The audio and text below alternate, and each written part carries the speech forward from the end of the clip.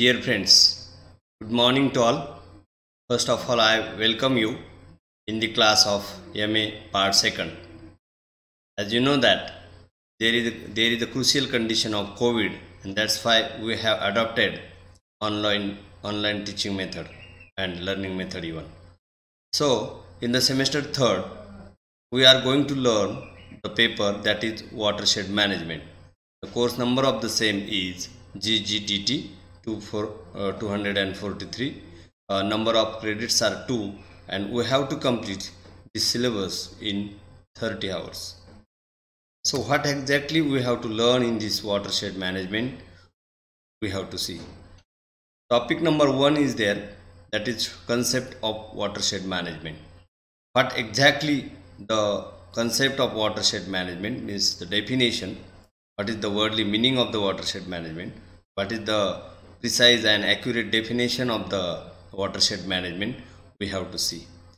And related to that concept of watershed we have to see. There are various concepts of watershed. There may be catchment area.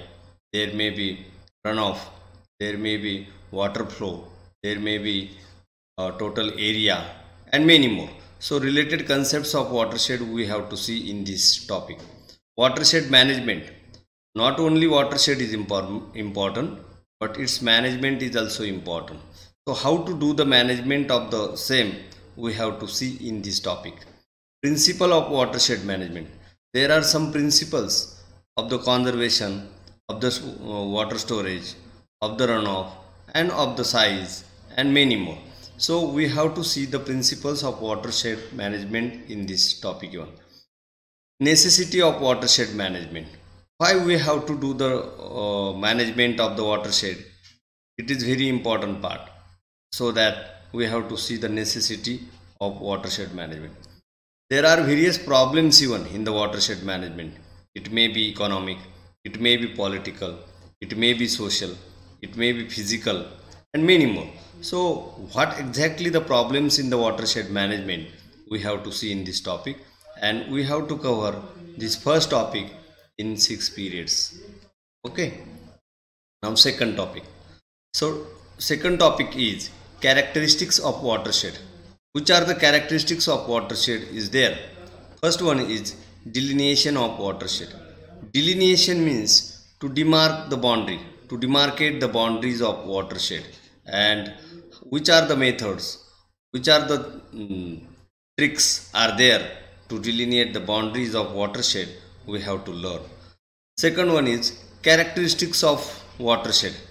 What is the size?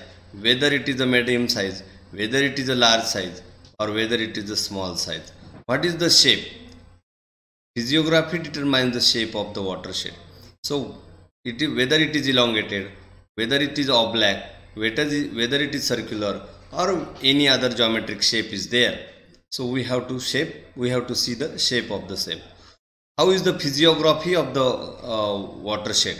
Whether it is lie uh, lie in the mountain area whether it is a um, in the plain area whether it is in a coastal area whether it is a, a mount, a mountainous area or a plateau area.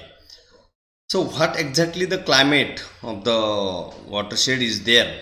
So as you know that there is the two main parameters of the climate that is rainfall and temperature so we have to see accordingly. How is the climate? Means what is the temperature and what is the rainfall uh, over there in the watershed in the particular watershed? What is the drainage? So how water flows? Whether it is flowing faster whether it is flowing medium whether it is flowing very slow and how it flows in which direction it flows in what speed it flows. So water flow determines the drainage pattern and we have to see the same in this topic. Next one is land use. If we think the land use so overall watershed is used for many purposes. It may there may be agriculture transportation means there are various roads various uh, constructions are there so settlements are there various buildings are there.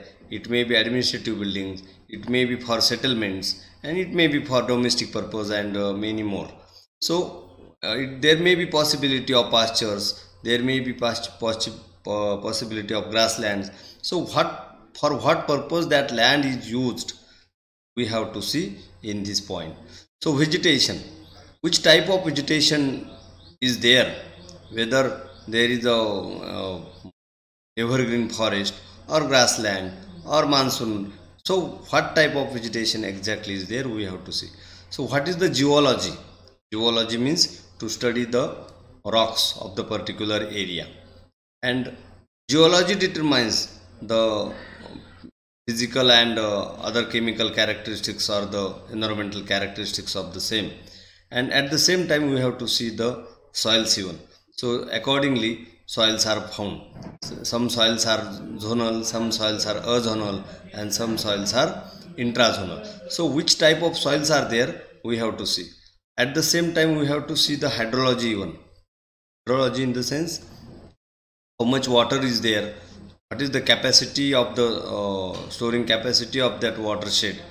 Uh, may, may, many uh, minor major pro, uh, projects are there or not we have to cover these topics in this point. Socio-economics characteristics. Some socio-economics things are there. Means what? Some suppose uh, if we want to uh, do the development of the same then social issues may be raised. Sometimes there may be rehabilitation sometimes there may be uh, migration. So what exactly social things are going over there we have to see. And what is the social characteristics of the same we have to see again economic things are there. Not uh, development is not uh, depend only on these physical things but economic things are also important because economically if that area is uh, having potential to do the development and then and then it may be it is possible to make the development. So economic things are very important. So we have to see these things also these things also in this topic and we have to cover all these points in six periods. Next third one hydrological process in watershed. In this um, topic we have to learn the subtopic or subpoints. There is precipitation. What is precipitation? How the process occurs uh, in the monsoon season. How the process occurs in the um, another region we have to see. And which type of precipitation occurs over there in the particular watershed we have to see.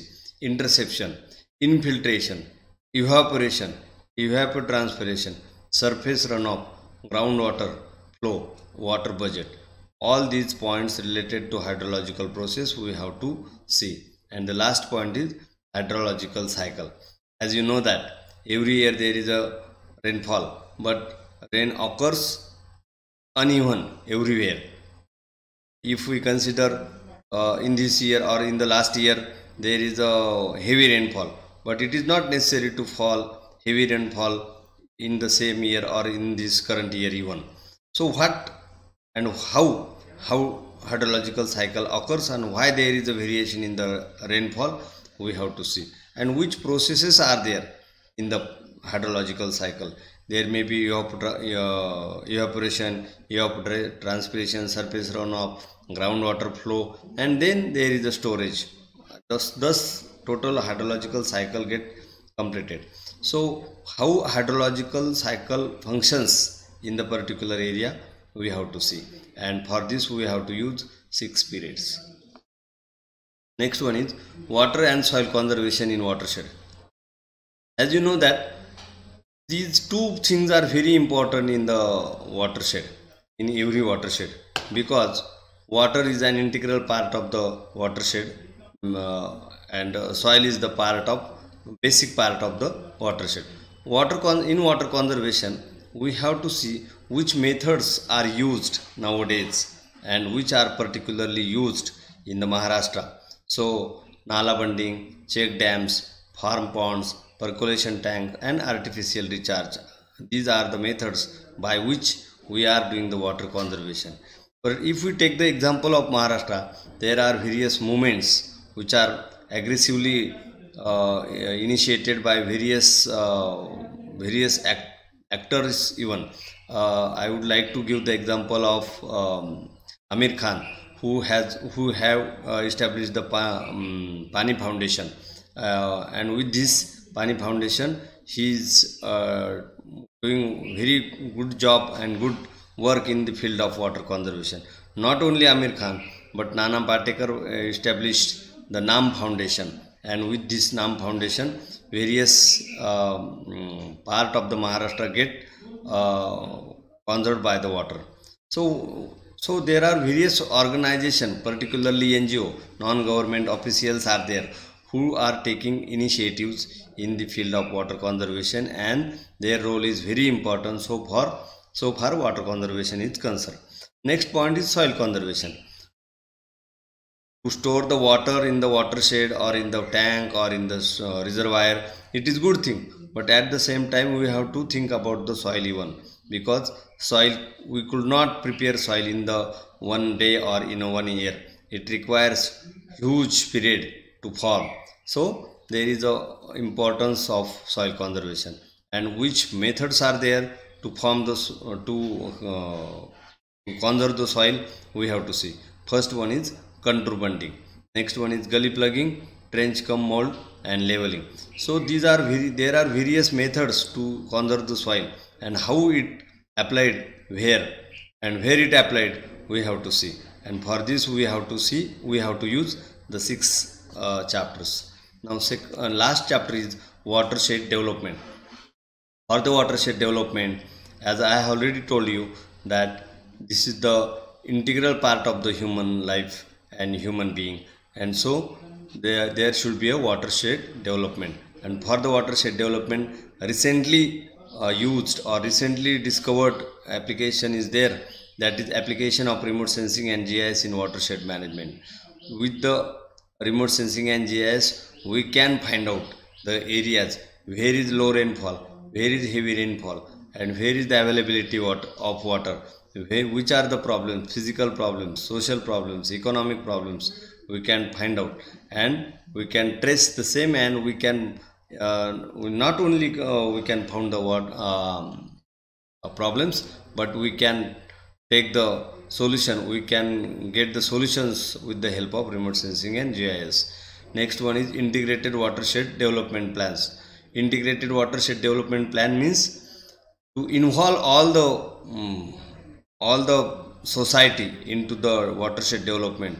Not only uh, government offices not only ngos but people participation is also important. As per the potential and as per the capacity of that particular area they can involve in that watershed development that is called as integrated watershed development plans. And the last point in this chapter is importance of watershed management in national development. As you know that water is the very very important part so far so far life or human being is concerned or human's life is concerned.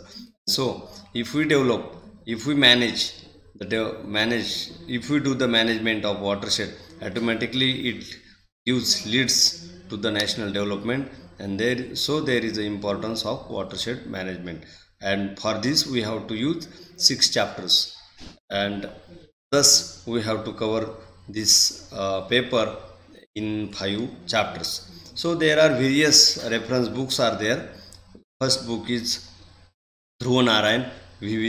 Uh, Dhruva Narayana's book is there V.V. Shastri G. Pa- Patnaik uh, had written this book that is called that is uh, entitled Watershed Management.